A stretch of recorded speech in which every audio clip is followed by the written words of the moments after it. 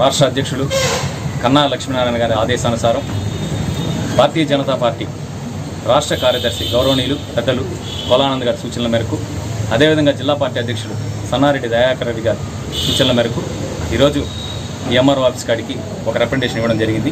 దీని ముఖ్య ఉద్దేశం ఏంటంటే గతంలో తెలుగుదేశం పార్టీ బీజేపీ కలయికతో ప్రధానమంత్రి ఆవాస యోజన కింద ఆరు వేల ఇల్లు శాంక్షన్ చేయడం జరిగింది.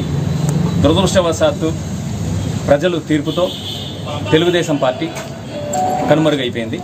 ఈరోజు వైఎస్ జగన్మోహన్ రెడ్డి ప్రభుత్వం గడిచిన సంవత్సరం కాలంగా ఎటువంటి అభివృద్ధికి నోచుకోకుండా ఏదైతే ఆరు వేల ఇల్లు అనేది సెక్షన్ చేశారో కేంద్ర ప్రభుత్వం సిక్స్టీ పర్సెంట్ రాష్ట్ర ప్రభుత్వం ఫార్టీ పర్సెంట్ నేపథ్యంలో అక్కడ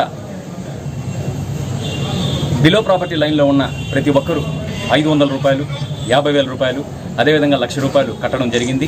ఇప్పటి వరకు ఎన్నో ఉగాదిలు పోయాయి. ఇప్పటికి నాలుగో ఉగాది రా గడ వెళ్ళింది.